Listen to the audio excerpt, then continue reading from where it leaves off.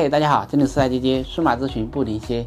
最近这段时间我是非常的忙，但是在忙的同时呢，我发现有一个不足的地方，有这么几点，我给大家分享一下，望大家能理解我们的情况。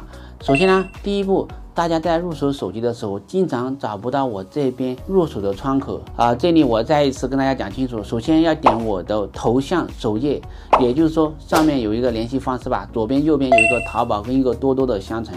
当然了，很多人看到的视频的价格会问，到了你们的商城里面去，为什么价格会不一样？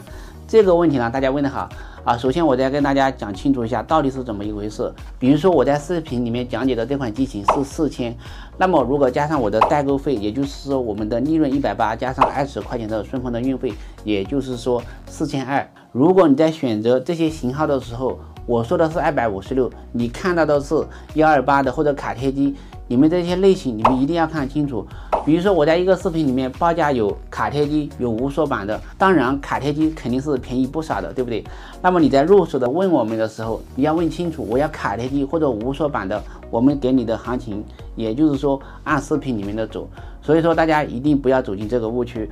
如果还有不明白的话，可以多多咨询我们。这样的话，对你对我。都有好处，而不是在我的评论处说你买的价格太高了。我看到你的视频那么便宜，一到你们的商城，哎呀，太高了。这个问题呢，我经常看到一些聊天记录啊，我看到都不知道怎么去和颜面对呀，兄弟们啊。啊，接下来呢，我大致的介绍一下当下的一些热门的机型，一些参考行情，免得大家走进一个误区，对不对？首先说十三 Pro 跟十三 Pro Max 或者十四系列十四 Pro。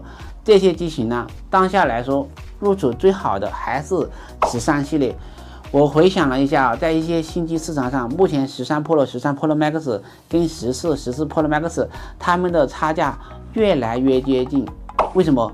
因为十四系列，说实话，它提升的并不明显，大家不买账。不买账的情况下，那肯定它会官网下幅度在六百左右。我相信这个问题大家应该都了解啊。所以说，目前来说，十三 Pro、十三 Pro Max 当下来说仍然是值得入手的机型。十四 Pro 跟十四 Pro Max 还会往下调。我个人感觉，如果你要选择五 G 手机，十二系列以上，目前当下来说。都是值得入手的，它该有的功能都有，它一样都不缺啊，是不是？优秀的做工，不大不小的外观，十二 Pro 跟十二 Pro Max 系列，十二系列甚至是入手的好机型。就拿十二跟十三来对比吧，十三对比十二，优点其实没有多少，但是呢，在二手市场这边的话，就仅仅的多了一个续航，一个减配版的 A 十五，它比十二差不多将近贵了一千块钱左右，至于吗？外观是一样的，像头也是一样的。凭什么贵了这么多？所以说大家在选择手机的时候，一定要在网上多对比权衡一下啊，兄弟们。当然了，在入手机型的时候，你们一定要看清楚这个博主的。当然了，在入手爱手机的时候，不要一味的追求便宜，一分钱一分货，它便宜。肯定也有便宜的道理，比如说十三 Pro 跟十三 Pro Max，一个正品屏的，也就是说官网翻过屏幕的设置通用，关于北京里面显示有一条正品屏，代表这种机型，也就是说官网置换的屏幕。我并不是说这种官网的屏幕不好，但是在华强北这边进货的价格，他们就相差三百。如果你选到这样的机型，卖家不告诉你实话的话，当做正常机出售的话，这就是在骗你，在坑你，兄弟们知道吗？好了，本期视频就暂时的介绍到这里。关于 iPhone 手机到底要怎么选，一些热门的机型可以写在评论中，我们互相探讨探讨，小走捷径，小走弯路。